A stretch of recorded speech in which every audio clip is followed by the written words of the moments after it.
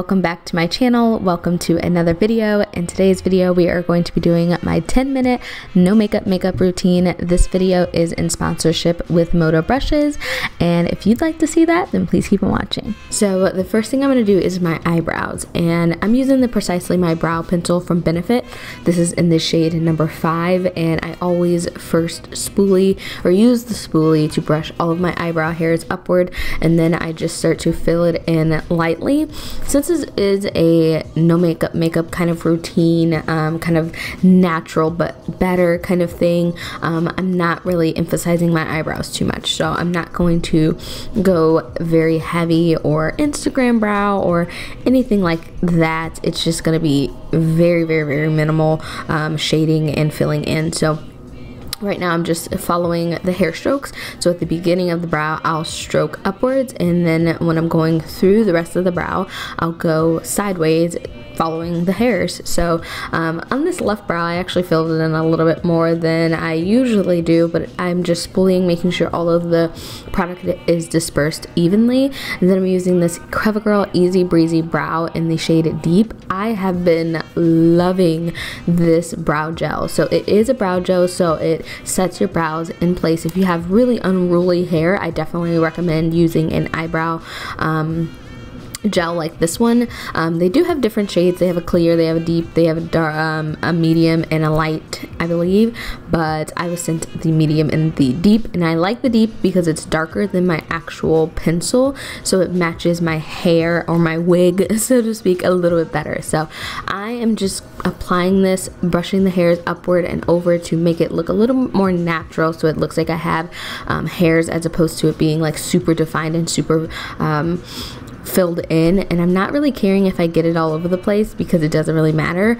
But since that spoolie does have product on it I just go in with a regular regular just an old um, clean spoolie and just brush it through to evenly move that product around because I don't want too many like you know thick clumps in certain areas. So now I'm using a little bit of makeup remover and I'm just going right underneath of the brow and over the brow to pick up any of that eyebrow gel or eyebrow pencil or anything that I may have gotten all over the place because I like a natural brow, but I don't like it to look unkept. You know, there's a difference.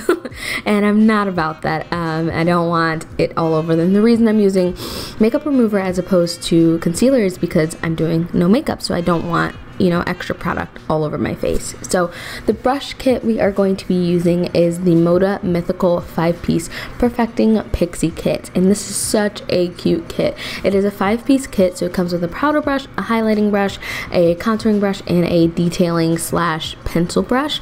It also comes with a holographic um, pouch that you can store these brushes in or travel with. I love the holographic pouch. As I mentioned to you guys, I use it for pretty much any and everything. So for concealer, I'm using a little bit of this CoverGirl TruBlend Concealer. This is in the shade Bronze. Normally I'll use Tawny, but since we're going for a natural look, I'm using something a little closer to my skin tone.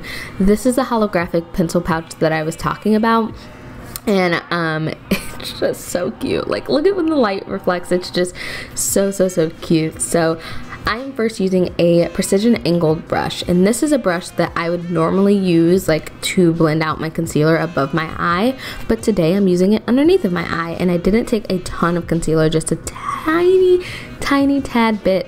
And this brush since it does have an angle it gets right underneath of the eyes really well and it also doesn't tug or pull at the eye like it's not a super super super stiff brush. The bristles are pretty loose and they move when I apply. And it also evenly distributed this product. Like I do go in a little bit later with my finger but it does move this product really nicely. I also put it a little over the top of my eye just to make sure that everything around that area is even. But this I'm just tapping it into place making sure it's not super tacky. And that's why I like this concealer because it dries to a matte finish. So for foundation I'm actually using a Benefit Hello Happy pressed velvet foundation. So I'm not a big powder person, but today I was like, I'm not to use liquid foundation. That's a bit much. And like I said, I don't if I don't have to wear foundation, I don't want to. So I'm using the large powder brush. The good thing about this brush is you can use this for powder. You can use it for blush, you can use it for contouring, you can use it for pretty much whatever. Honestly, you guys, any brush you have, you can use for whatever. There's no rules or set. Um, some some brushes have set, you know, specific products and things that you're supposed to use, but honestly, you can use whatever brush for whatever. So I'm just putting this all over the face just to give a nice light dusting of coverage. This isn't going to be for anyone that has you know acne prone skin or really like um have a lot of hyperpigmentation it might be hard you might have to go in with a foundation. Um, but I am using a bronzer. This is the ABH powdered bronzer in mahogany. Like I mentioned I'm using that same powder brush. This is a large fluffy brush and this is actually the type of brush that I would use to bronze or contour the skin anyways because I like it to be a little more diffused but I'm just adding a little little bit of warmth into the skin. This is pretty close to my skin tone, so you won't see a distinct difference, but that doesn't bother me much because that's not However, I am going to use a liquid highlighter. This is the Cover FX um, Skin Enhancing Drops. This is in the shade Candlelight. I remember when these were so popular like a couple of years ago, um, but I'm just using a tiny bit of that. Then I'm going to use the highlighting brush for um, from this Pixie set as well, just to apply that. Now, in hindsight, I would probably go back in with the det um, with the precision angled brush. The precision angle brush would have worked a lot better because it would move the creams around since it's a little more dense of a brush. Um, this cream set into my skin and it was kind of hard to move with the highlighting brush. So in hindsight, I would do it different. However, I'm using the Becca um, Skin Perfecting Perfector Pressed Highlighter in Topaz.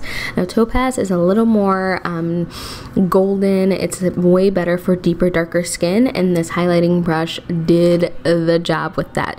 Since it is really finely milled, this highlighting brush picked up the product and distributed distributed it uh, nice and evenly. Like I didn't have any chunks or anything and it just gives a nat natural glow.